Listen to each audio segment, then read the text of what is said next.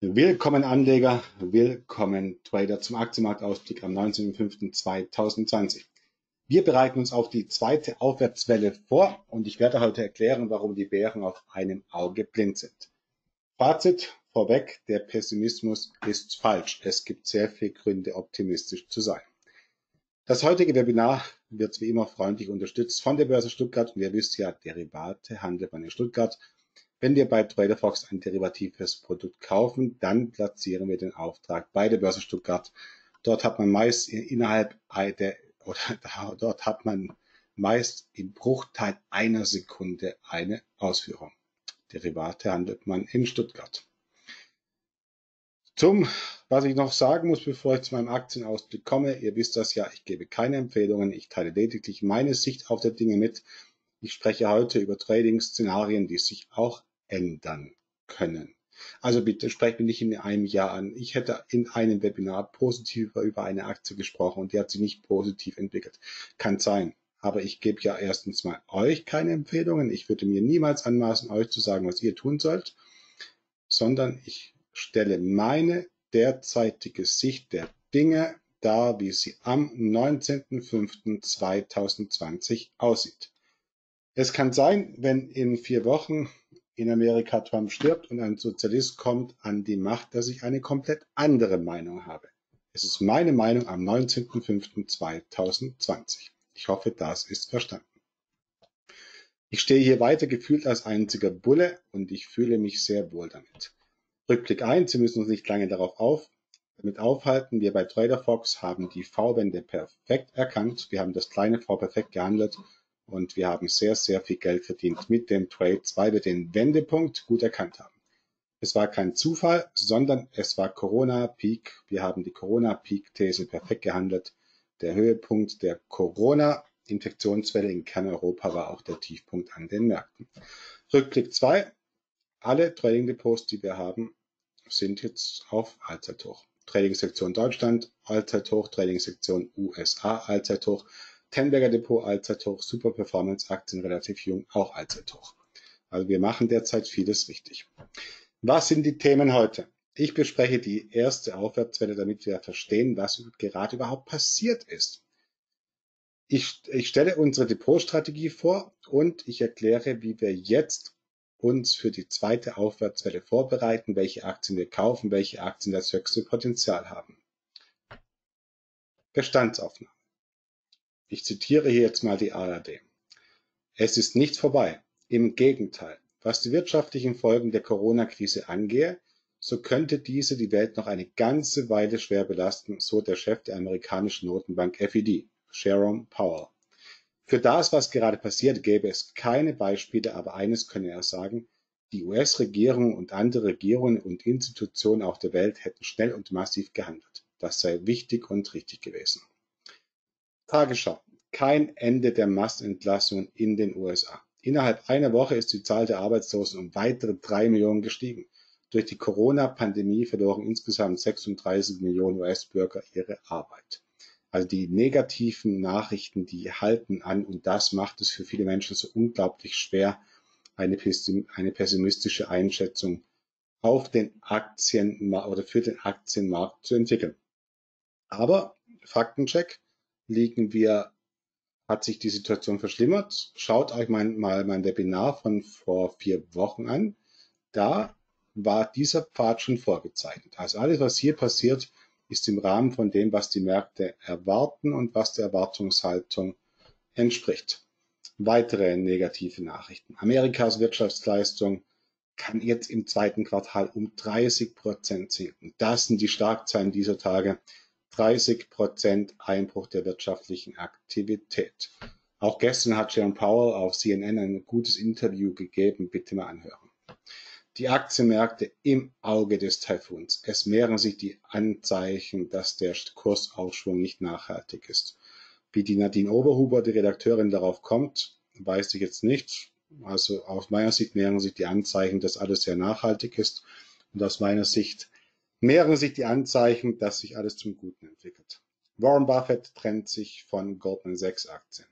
Warren Buffett warnt auf der virtuellen Hauptversammlung im Mai vor weiteren Risiken und sagt, oder wählt als Vergleich zur Finanzkrise. Dieses Mal haben wir den Zug von den Gleisen geholt und daneben abgestellt. Im Unterschied zur Finanzkrise, wo der Zug quasi ne, immer noch auf den Gleisen war und die Gleise nur ein bisschen holprig waren. Also auch Warren Buffett extrem pessimistisch. Er erhöht seine Cashbestände. Er warnt vor Aktien. Er sagt, wenn man jetzt kauft, muss man sehr, sehr viel Zeit oder sehr, sehr viel Risikobereitschaft mitbringen. Das negative Sentiment ist der Hammer. Weitere Meldungen. USA melden stärksten Wirtschaftseinbruch seit 1959. Eine Rezession mit tiefen Narben droht, sagt auch der Notenbankchef Jerome Powell. Also massive schlechte Nachrichten, massiv schlechtes Sentiment. Es gibt vier Puzzleteile, die man begreifen muss, um den Markt zu verstehen. Das erste Puzzleteil ist die Zentralbanken und die neue monetäre Theorie. Das zweite Puzzleteil sind die neuen Wirtschaftsstrukturen. Das dritte Puzzleteil ist die Erkenntnis, dass Covid-19 gut kontrollierbar ist. Die Menschen sagen immer noch, oh, man weiß ja über dieses Virus so wenig und wir wissen es alles nicht. Was alles komplett falsch ist. Wir wissen eigentlich so gut wie alles. Es ist schon sehr gut dokumentiert, sehr gut erforscht. Wir kennen die Makrowirkungsmechanismen des Virus. Wir können damit umgehen. Es ist gut erforscht, es ist unter Kontrolle. Alles andere ist einfach nicht richtig. Das vierte Puzzlestück ist, dass jetzt wie fast noch nie in der Geschichte schöpferische Zerstörung stattfindet. Und auf all die Dinge möchte ich euer Hauptaugenmerk lenken.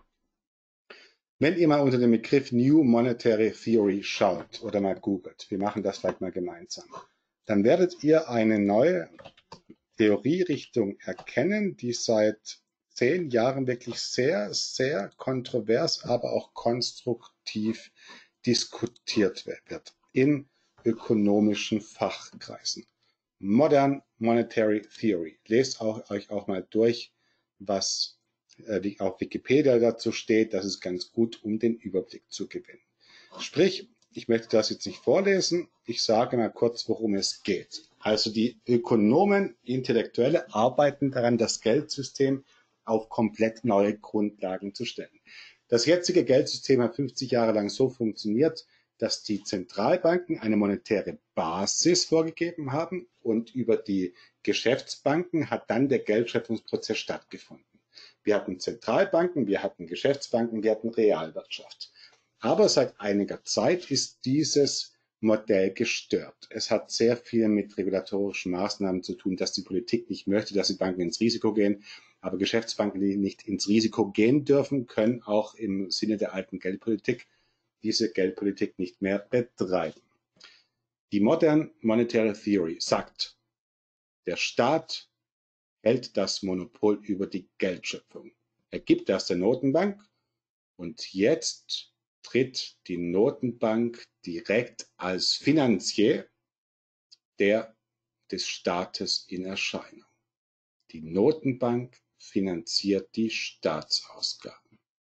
Und anders als noch als in den letzten 50 Jahren, und jetzt kommt's, wird die Inflation nicht mehr über die Zinsen kontrolliert, sondern über die Steuern.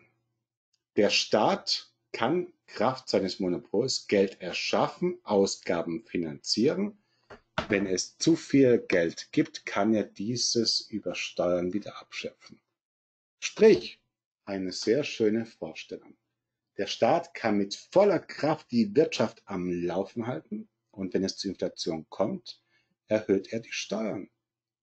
Zum Beispiel auch wirklich ein sehr starkes, ein, ein Steuersystem wäre vorstellbar, was wirklich auch die extrem Gutverdiener, die extrem Reichen dann abschöpft. Und jetzt ist hier meine Einschätzung. Die alte Garde der Ökonomen und Notenbanker schimpfen sehr über diese Modern Monetary Theory. Ich bin aber der Meinung, es ist ein richtiger Schritt. Es ist ein richtiges Verständnis unseres Geldsystems und es ist diese Art der Modern Monetary Theory, die gerade live ausgerollt wird. Da findet keine Pressekonferenz statt. Also wir werden es nicht die US-Regierung hören oder die, die amerikanische Notenbank hören und sagen, sie wechseln jetzt auf Modern Monetary Theory, werden sie nie in dieser Deutlichkeit kommunizieren. Aber sie machen es aktuell. Aus nach meinem Verständnis wird diese neue Geldtheorie gerade implementiert.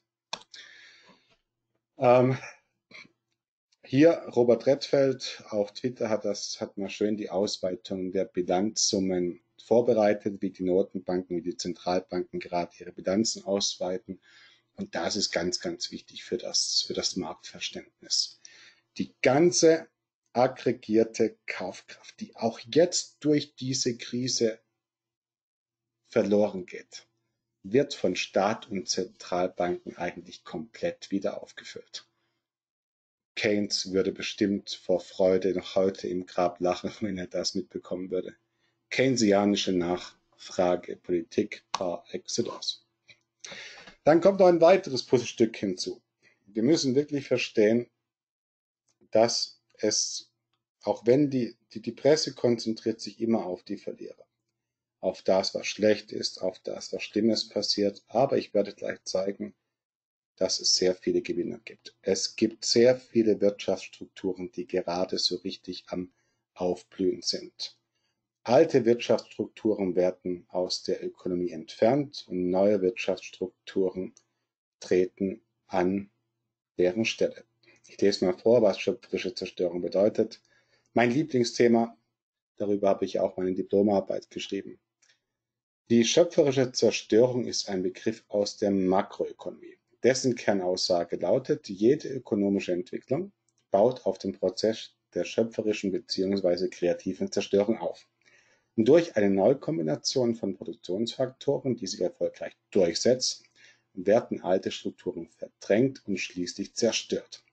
Die Zerstörung ist also notwendig und nicht etwa ein Systemfehler, damit neue Ordnung stattfinden kann. Beispiel für die schöpferische Zerstörung. Pleitewelle bei den Einzelhändlern. Amazon und andere Online-Shops stellen massig Mitarbeiter ein.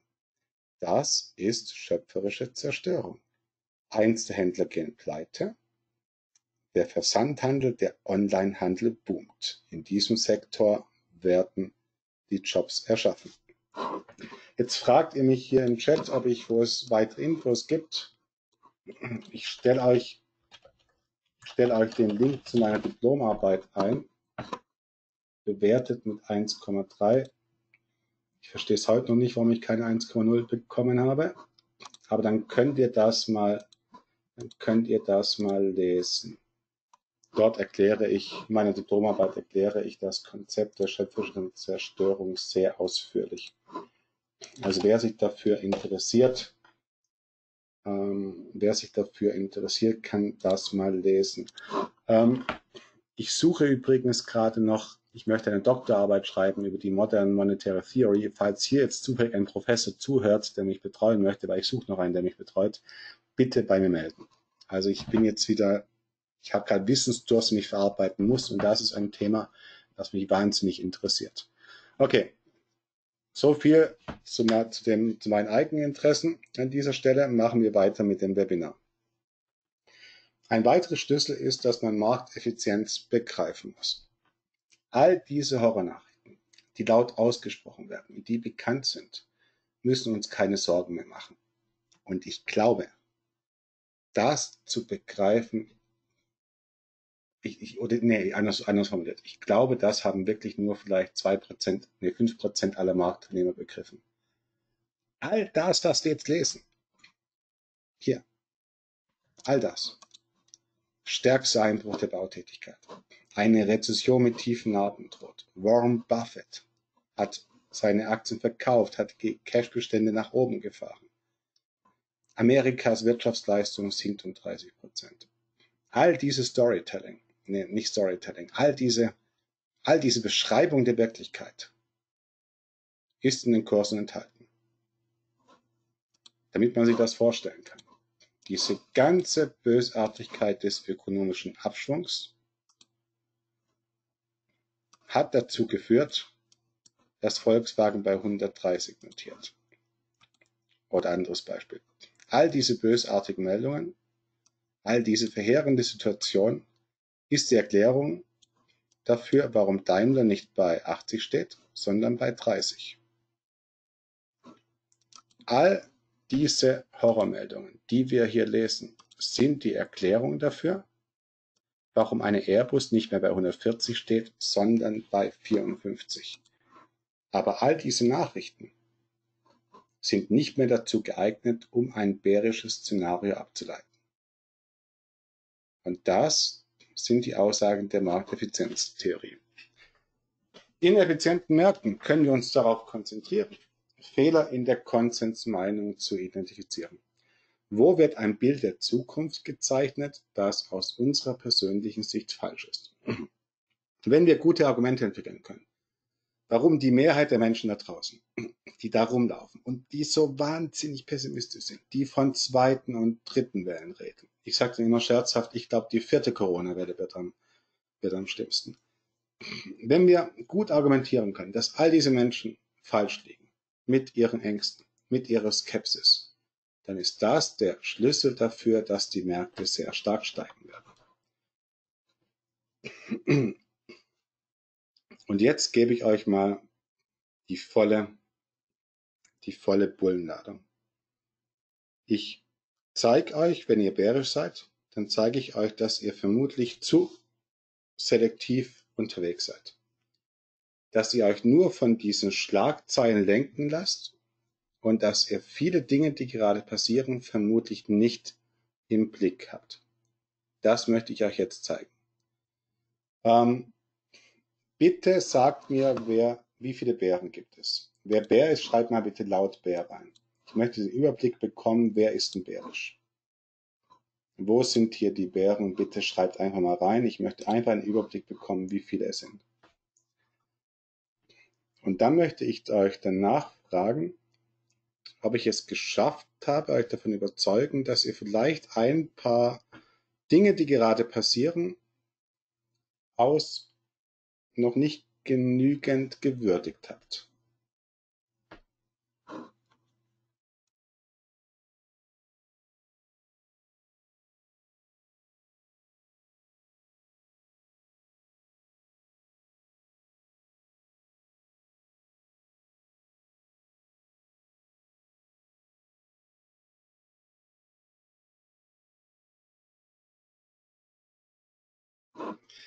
So, seid ihr bereit? Schauen wir uns also an, wie die schöpferische Zerstörung tobt. Walmart. Ist da draußen wirklich alles schlecht? Walmart, der größte Einzelhändler in den USA, diese riesigen Stores, wo man eigentlich fast alles kaufen kann, aber bevorzugt Lebensmittel, ist am Allzeithoch. Die Konsumnachfrage der Amerikaner ist also offenbar entgegen all dem, was man hier liest, intakt. Das ist nur zu einem Teil auf Hamsterkäufe zurückzuführen. Ein anderer Teil ist wirklich, dass diese Kauf, diese aggregierte Nachfrage wirklich intakt ist, weil ein Arbeitsloser bekommt in den USA allein vom Staat 600 US-Dollar Arbeitslosenunterstützung pro Woche. Pro Woche. Das ist mehr Geld, das ist Helikoptergeld. Das mehr Geld, als, manch, als manche im Niedriglohnsektor verdienen. Walmart, der große Einzelhändler der USA, ist im Allzeithoch, macht blendende Geschäfte. Nvidia, meine beste Aktie. Ich habe gestern die 1000 Prozent mit diesem Wert gefeiert. Ich bin long und ich bleibe long. Mein Preisziel ist 450 bis 500. Dann erwäge ich jetzt einen Teilverkauf. Nvidia, ist sinnbildlich für die Erschaffung der neuen Wirtschaftsstrukturen. Cloud. Der, die A100, die neue GPU, die letzte Woche vorgestellt wurde, beschleunigt viele Prozesse rund um Deep Learning um den Faktor 20. Wieder ein Quantensprung, den Nvidia hier hingelegt hat. Nahezu alle großen Cloud-Betreiber, Amazon, Oracle, Alibaba, Microsoft mit der Azure, sind bereits Kunde bei Nvidia und wollen auch diese A100 GPU bei sich in den Clouds einbauen. Nvidia baut das Gehirn des Internets. Ich bin lang. Activision Blizzard, wieder eine Aktie, die jetzt steigt und steigt, im schönen Aufwärtstrend drin ist. Elektronische Produkte, Gaming als Unterhaltungsprodukt Nummer eins.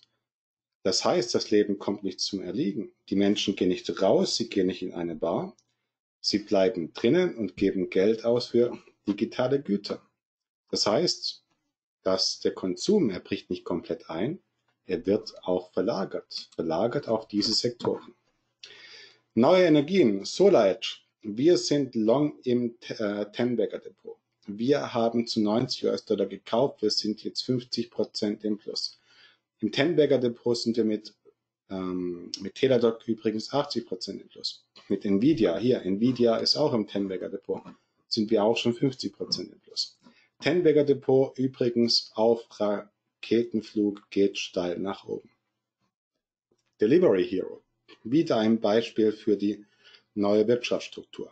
Wir gehen nicht mehr in Restaurants, wir greifen auf Lieferdienste zurück und bestellen dort Essen. Die bringen uns das Essen an der Haustür. Wenn wir in ein Restaurant gehen, sind weniger Arbeitskräfte erforderlich als beim Lieferdienst. Wir haben einen immensen Aufbau einer Lieferinfrastruktur. Sartorius, wieder eine Aktie, die sich auf Allzeithoch bewegt. Medizintechnik, Gesundheitsbranche. Die Bedeutung der Gesundheitsbranche hat sich erhöht. Die Ausgaben im gesamten Gesundheitssektor werden in nahezu allen Ländern erhöht. Wir Pharmakonzerne, Medizintechnikkonzerne, Biotechs und auch die Medizintechniker profitieren. Der ganze Sektor hausiert, diese Branche hausiert. Zoom Video Communications. Man könnte auch sagen Slack, man könnte auch sagen Ring Central. Es gibt Dutzende Beispiele von Unternehmen, die hier in dieser Welt der digitalen Kommunikation profitieren. Man trifft sich nicht mehr in der Cafeteria oder im Konferenzraum. Man trifft sich in Microsoft Teams. Man kommuniziert über Zoom Video Communications. Wieder ein Gewinner. HelloFresh, wir gehen nicht in Restaurants.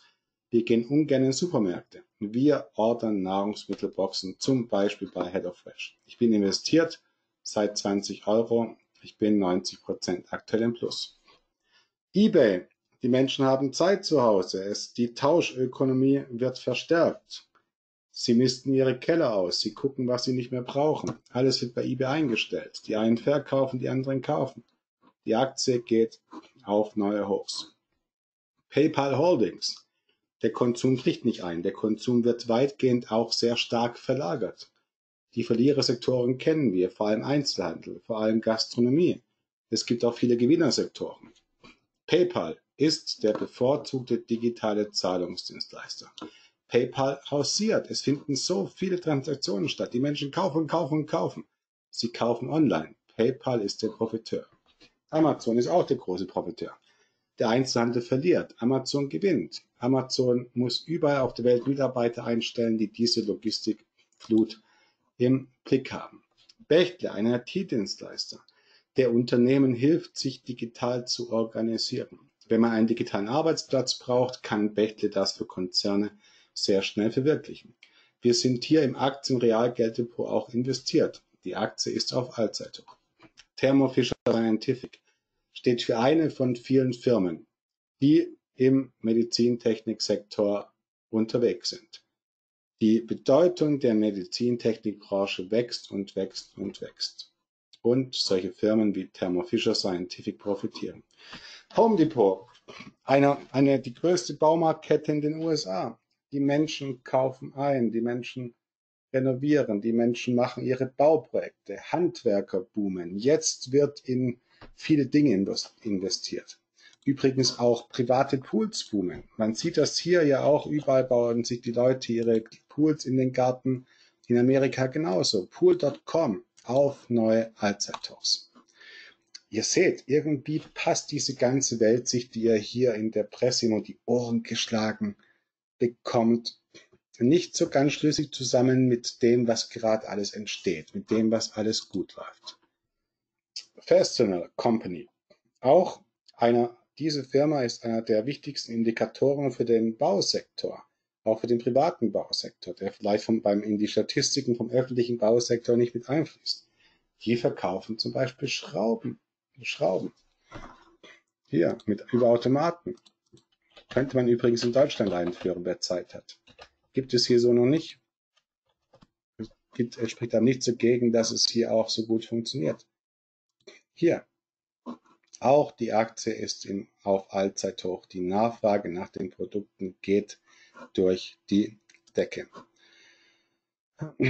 Vertex Pharmaceuticals, wieder ein Beispiel aus dem Biotech-Sektor.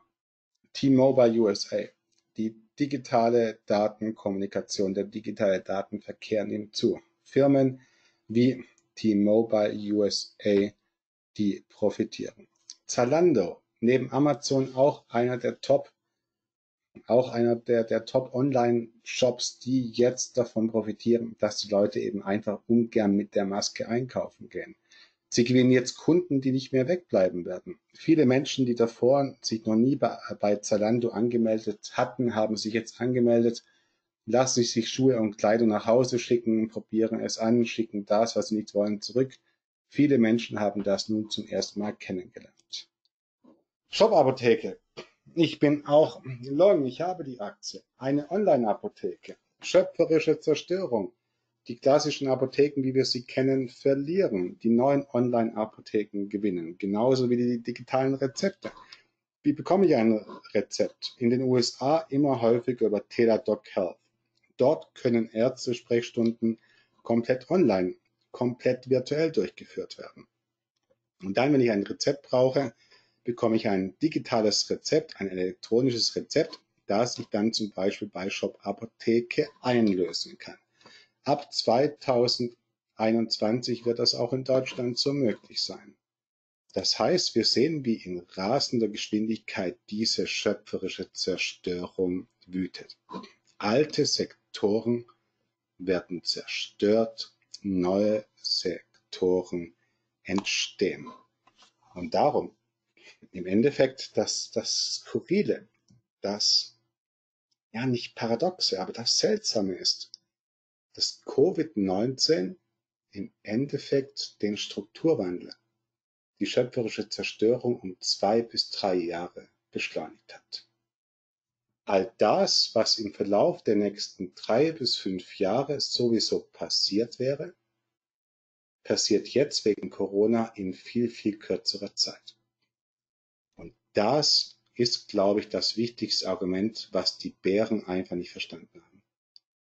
Die Bären haben einfach nicht verstanden, dass Corona eine enorme Beschleunigung des strukturellen Wandels darstellt. Eine enorme Beschleunigung der schöpferischen Zerstörung. Sieht man vor allem bei Fitnessstudios. Mir tun die ja leid. Und bitte, wir, ich, ich, ich bin hier jetzt niemand, der hier Sachen vorstellt und das irgendwie wertet, dass ich das gut finde oder nicht gut finde. Aber Fitnessstudios sind ganz große Verlierer. Die mussten lange Zeit zuhalten. Die haben jetzt strenge Auflagen. Und viele Menschen haben Dinge probier, probiert wie Peloton, wie Peloton oder ach, ich weiß nicht, wie das heißt. E-Bikes mit großem Monitor kommen gut an, machen offenbar süchtig. Ich bin investiert. Ein Kunde macht 17,7 Workouts im Monat. Wie viele Workouts machen die Leute im Fitnessstudio? Es stimmt keine 17,7 Workouts im Fitnessstudio. Das heißt, Peloton, Peloton, vielleicht noch so aus. Peloton hat ein Konzept hingestellt, mit dem es jetzt auch die Online-Fitness digitalisieren kann.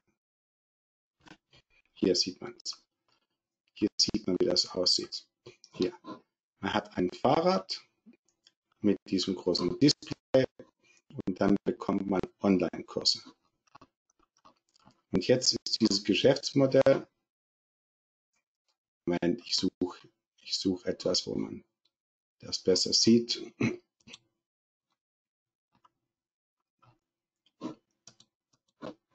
Ich, ich will das besser zeigen.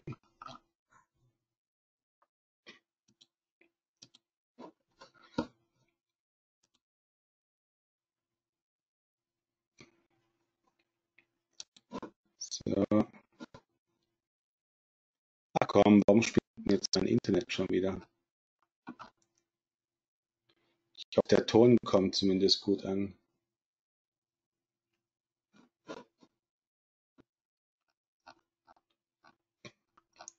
So, jetzt noch einen Versuch.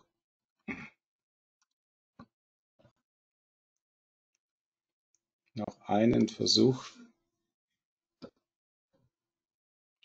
Ich weiß auch nicht, vielleicht haben die auch gerade Probleme. Auf jeden Fall, das ist so ein Fahrrad.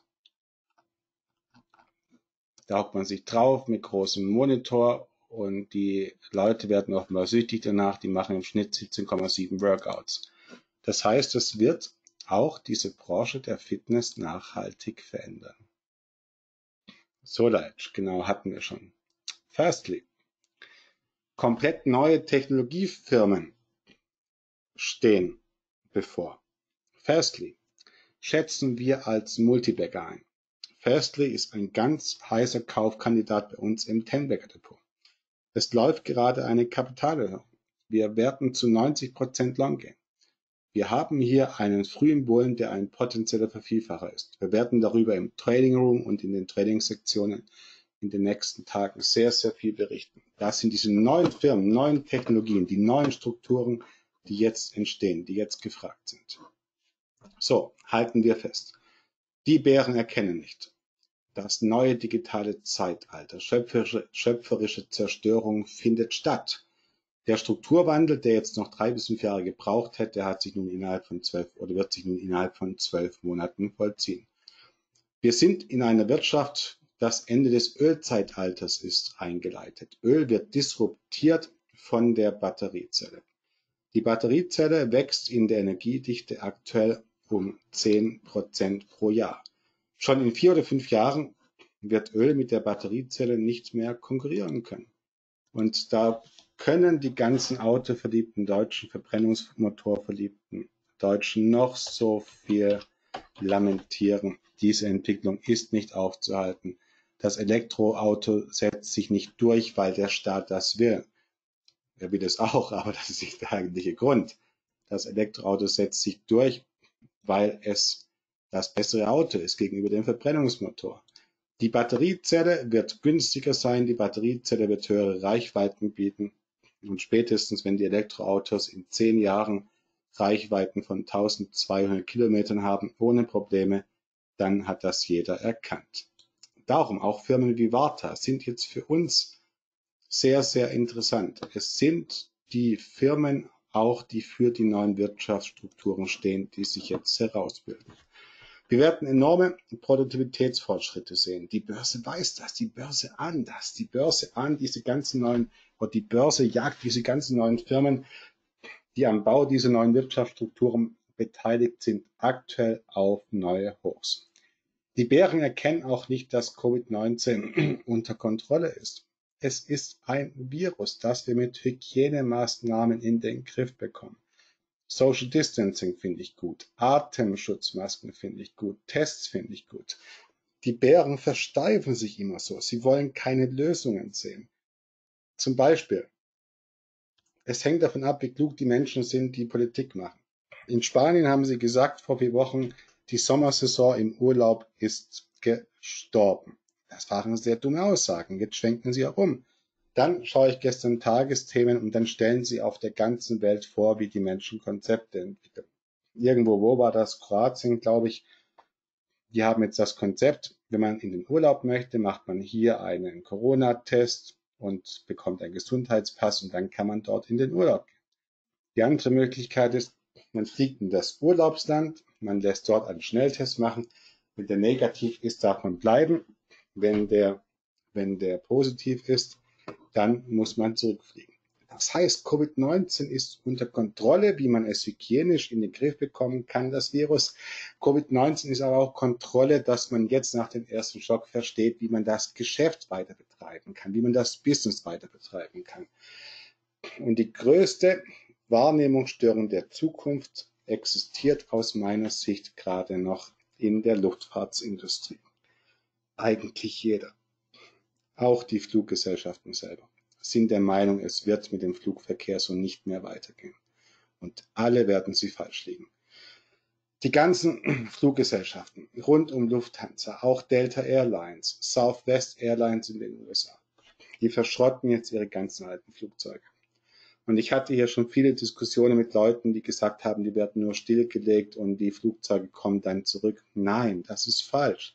Die werden wirklich zu einem großen Teil einfach verschrottet, unwiderruflich stillgelegt. Die Flugzeuge werden platt gemacht, weil die ganze Welt davon ausgeht, dass diese Flugzeuge nicht mehr benötigt werden.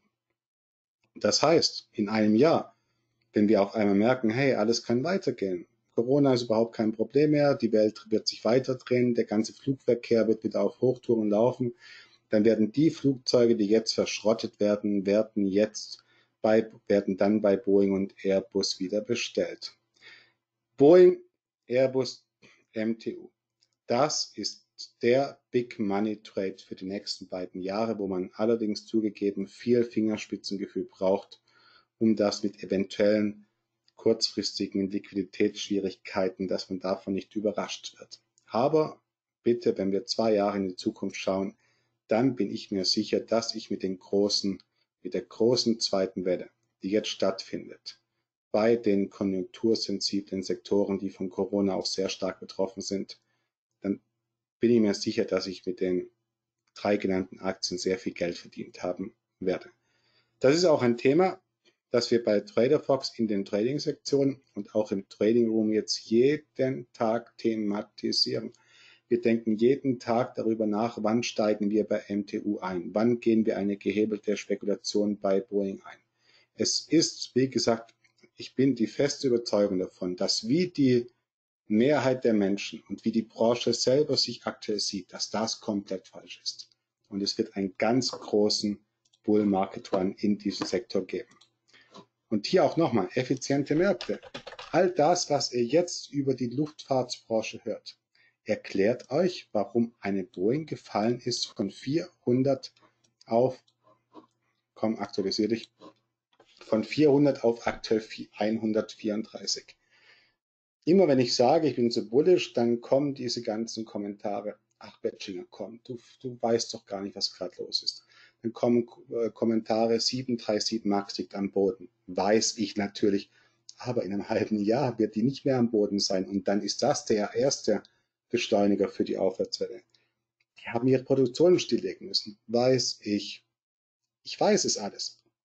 Die ganzen Geschichten, die jetzt dazu, die ihr mir jetzt dazu erzählen könnt, erklären, warum der Kurs bei 134 US-Dollar steht. Und weil ich glaube, dass diese ganzen Annahmen über die Zukunft falsch sind, habe ich hier meine große Chance, die ich jetzt mit viel Fingerspitzengefühl nutzen muss und nutzen werde. Und wir werden das bei TraderFox in den Trading Depots hoffentlich auch sehr gut umgesetzt bekommen. Wie sieht unsere Strategie in den Trading Depots gerade generell aus? Wir setzen auf Firmen mit Geschäftsmodellen, die von den neuen Wirtschaftsstrukturen profitieren. Das ist auch der Grund, warum wir auf Allzeithoch sind. Wir haben, wir setzen auch auf Gold. Also wir haben im Trading Depot USA haben wir zwei Goldaktien drin. Wir sind mit Newman schon 17 Prozent im Plus. Bei Gold wird aufgrund der Ausweitung der Zentralbankbilanzen ein neuer Superzyklus gespielt. Der ist möglich. Was meine ich damit? Mit einem neuen, mit einem neuen Superzyklus meine ich, das eine 30-jährige Seitwärtsbewegung. Eine 30-jährige Seitwärtsbewegung nun vor dem Ende steht.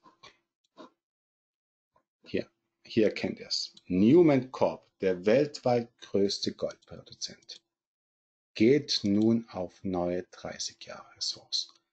Es gibt also die Chance auf einen Gold-Superzyklus, der jetzt startet. Wenn ich die Sachlogik erkenne, warum eine Aktie auf 30 Jahreshochs geht, und die Sachlogik ist diese noch nie dagewesene Ausweitung der Bilanzsumme.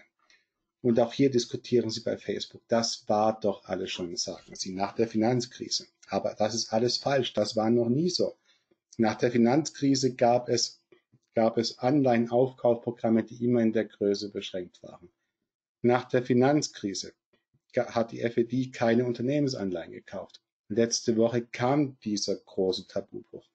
Letzte Woche am Dienstag hat die amerikanische Notenbank zum ersten Mal in ihrer Geschichte Unternehmensanleihen aufgekauft.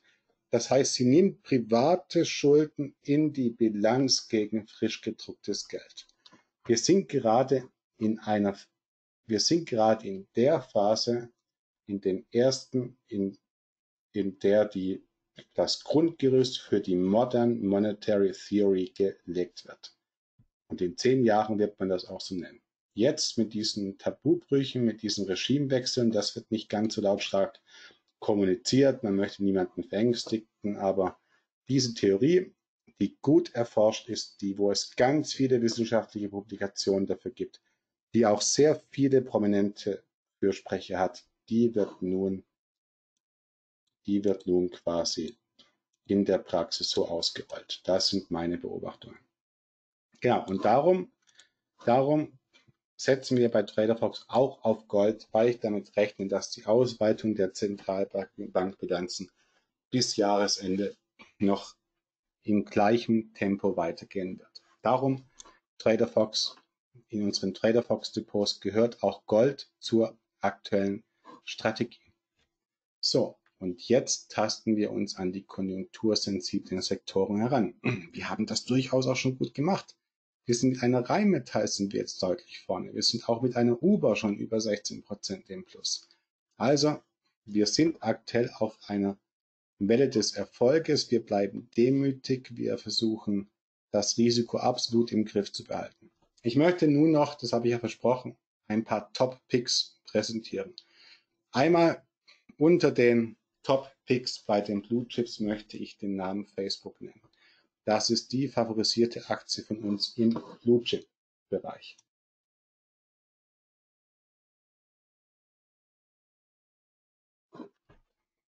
Zwei Milliarden Menschen nutzen WhatsApp.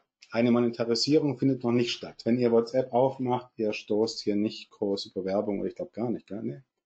Wenn man WhatsApp aufmacht, keine Werbung, kein gar nichts, wird einfach noch nicht groß monetarisiert. Wie groß das Potenzial ist, zeigt Facebook. Mit jedem Nutzer hat Facebook 2,14 Dollar Umsatzerlöse pro Monat. Wenn es nun Mark Zuckerberg schafft, und das wird er schaffen, davon gehe ich aus, mit jedem WhatsApp-Nutzer auch nur ein Dollar zu verdienen, dann kann der Gewinn um 24 Milliarden nach oben schießen. Also ein Dollar jetzt als Gewinnbeitrag, wenn vielleicht der Umsatz dann 1,50 Dollar ist pro Nutzer. Und die Schritte, die Facebook jetzt macht und wo auch wir als Trader Fox ja damit arbeiten wollen, die WhatsApp Business API, die geht genau in die richtige Richtung. Wir als Unternehmen werden dafür bezahlen, dass wir Sie als Kunde kontaktieren dürfen. Und darum glaube ich, dass die Monetarisierung von WhatsApp gelingen wird.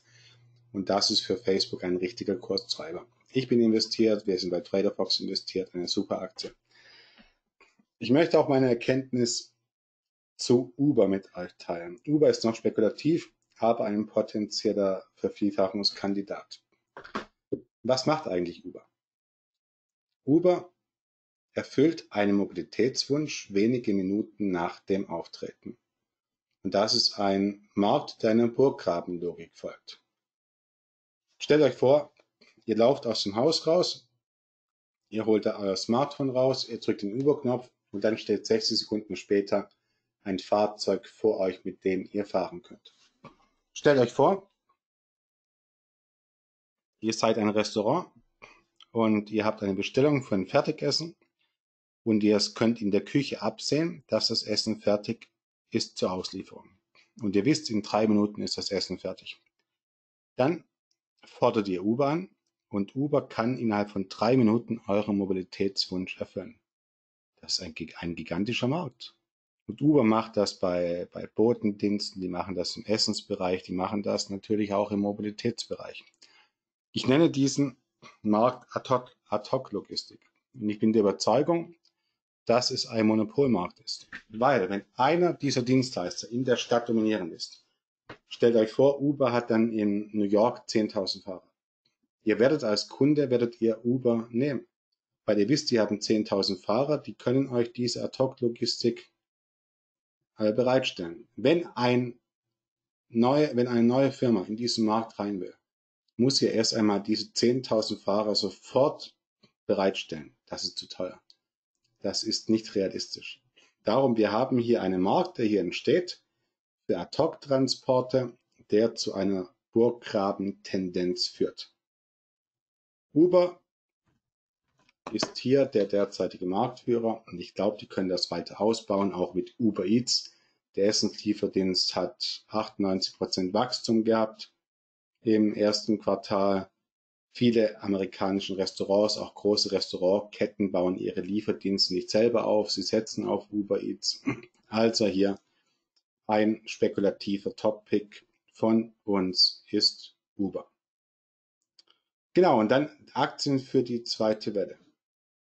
Wir werden nun als nächstes anfangen, die konjunktursensiblen Zyklika aufzukaufen. Luftfahrtsbranche habe ich schon genannt, eine Airbus, eine Boeing in Amerika, eine MTU.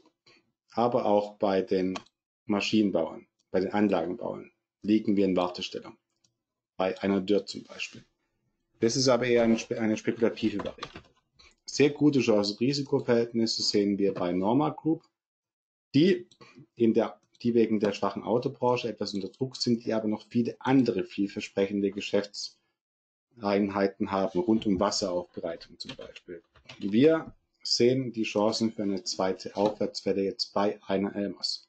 Die Aktie hat sich auch mal kurz halbiert, aber auch hier dürfte das Schlimmste nun vorbei sein und nun wird hier demnächst die, äh, die Erholung gespielt. Genau, und so gibt es noch 10, 20 weitere Aktien, die wir immer den ganzen Tag in unseren Trading-Sektionen besprechen.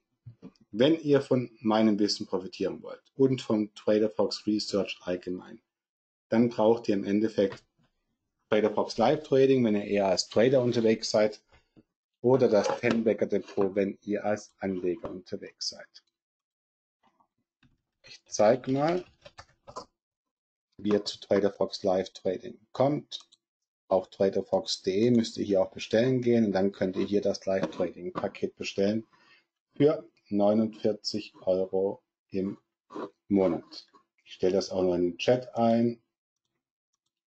Genau hier.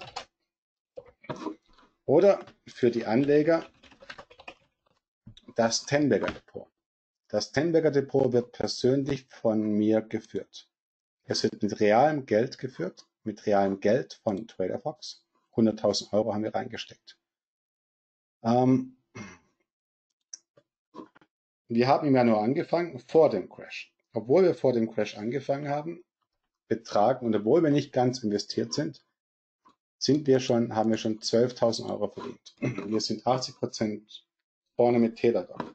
Wir sind 50 Prozent vorne mit SolarEdge. Wir sind 50 Prozent vorne mit Nvidia. Wir sind 30 Prozent vorne mit CompuGroup. Also, hier suche ich die Aktien persönlich aus im Aktien Kellenberger Depot. Es gibt noch den Einführungspreis bis 31.05. nur 29 Euro pro Monat statt 39 Euro. Wenn euch das interessiert, das Thema, dann schlagt am besten jetzt zu.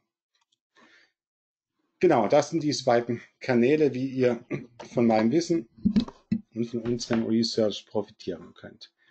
Wichtig war mir heute, dass ihr Folgendes versteht. Diese ganzen negativen Nachrichten, die ihr gerade lest, sind effiziente Märkte-Theorie in den Kursen drin. Ich glaube persönlich, dass diese zukunftsskeptisch komplett falsch ist. Sie ist komplett falsch, weil man den Prozess der schöpferischen, der schöpferischen Zerstörung, ich zeige es nochmal hier, gerade nur von der Seite der Zerstörung betrachtet. Man schaut auf die Dinge, die gerade zerstört werden, Einzelhandel, teilweise auch Gastronomie, und sieht nicht die andere Seite der neu erschaffenen Wirtschaftsstrukturen. Dann ist mir wichtig, dass ihr versteht, dass wir gerade in einer, uns in einer historischen Trendwende bei der Geldpolitik befinden. Die größte, der größte oder die größte Zäsur der Geldpolitik seit den 1930er Jahren. Was war in den 1930er Jahren? Das, damals gab es den Goldstandard. Wegen dem Goldstandard gab es die Weltwirtschaftskrise, weil alle oder weil so gut wie alle Banken einfach pleite gingen. Es, gibt, es gab Goldrun, es gab Bankruns. Das Geldsystem war mit Gold gedeckt. Das heißt, die Menschen sind auf die Bank gerannt, wollten ihr Geld abheben. Es gab keine Zentralbanken, die aus dem Nichts neues Geld erschaffen konnten. Das heißt, die Menschen waren, die Banken waren dann einfach pleite. Das Finanzsystem ist kollabiert. Dann hat man erkannt, dass das nicht gut ist. Und dann wurde das moderne Zentralbankensystem erschaffen. Das hat jetzt 80 Jahre lang eigentlich recht gute Arbeit geleistet. Und nun wird ein Transformationsprozess stattfinden, in dem die Notenbanken direkt staatliche Ausgaben finanzieren und in dem Überschussliquidität über Steuern abgeschöpft wird. Also eine komplette neue Ära des Geldsystems. Und das findet gerade auch statt. Ich möchte, dass ihr versteht, dass die Ausweitung der Bilanzsummen weiter anhalten wird und diese Liquidität wird in den Aktienmarkt gehen und in den Goldmarkt. Sie wird weniger in den Anleihemarkt gehen und auch weniger in den Immobilienmarkt. Das ist unsere These bei TraderFox. Ja, und dann möchte ich, dass ihr bitte versteht, dass Covid-19 intellektuell besiegt ist. Es ist kein Virus, es ist ein Virus, es ist kein Horrorvirus, es springt euch nicht über fünf Meter an, es fliegt nicht über die Luft auf euch zu und stürzt sich von oben wie ein Vogel auf euch. Es ist ein Virus, das über Social Distancing und über Hygienemaßnahmen und über Atemschutzmasken kontrollierbar ist. Es ist ein Virus, mit dem auch die Wirtschaft umgehen kann. Und darum sind diese ganzen Horrorszenarien, die immer noch an die Wand gemalt werden, wenn ich dem Lauterbach nur zuhöre, ich kenne den Lauterbach, er kennt ja bestimmt diesen, diesen Schwarzmaler der SPD der, glaube ich, ja. Also, wenn man dem zuhört, der würde, der würde Deutschland in einen jahrhundertelangen Tiefschlaf versetzen. Und am Ende nach der Lauterbach, nach der Lauterbach-Politik, dann wäre nichts mehr übrig. Aber genau, aber von solchen Überlegungen ist gerade immer noch das öffentliche Meinungsbild dominiert. Meine Einschätzung ist, es ist komplett anders. Es ist Covid-19 ist intellektuell besiegt. Es wird keine zweite Welle geben. Die Menschen haben es im Griff. Nur noch die Politik kann sich hier selber besiegen. Aber mit vernünftigen Menschen ist alles gut machbar. Man sieht das ja auch schon auf der Welt. Und jetzt kommt, und diese Nachricht habe ich mir für den Schluss aufgehalten, aufgehoben. Folgende Nachricht habe ich mir jetzt echt bis zum Ende aufgehoben. Und damit könnt ihr eure ultimative Bärenthese testen. Und bitte antwortet ehrlich. Ich frage euch jetzt etwas und ihr sagt bitte, ob euch, ob ihr das mitbekommen habt oder nicht. Habt ihr mitbekommen, dass in China die Industrieproduktion im April um 3,9 Prozent gewachsen ist? Bitte schreibt ja oder nein. Die Chinesen haben das Ganze zwei bis drei Monate früher durchmachen müssen. Und hier kann man sehen, dass Covid-19 intellektuell besiegt ist. Die hatten jetzt im April 3,9 Prozent Industrieproduktionswachstum. Was natürlich zugegeben auch damit zu tun hat, dass sie jetzt quasi für, die Rest, für den Rest der Welt das produzieren, was wir selber nicht hinbekommen, weil wir in diesen Lockdowns drin waren. Aber Japan, China, Südkorea zeigen, wie man wie eine Wirtschaft mit Covid-19 laufen kann. So, das war's von meiner Seite. Ich freue mich, wenn ihr bei uns mitlest, bei TraderFox Live Trading oder im Tenberger Depot. Ich bin ein Bulle. Ich hoffe, ich konnte euch heute von, nee, hoffe ich gar nicht. Ich wollte euch einfach meine Argumente mitteilen. Was ihr damit macht, ist eure Sache.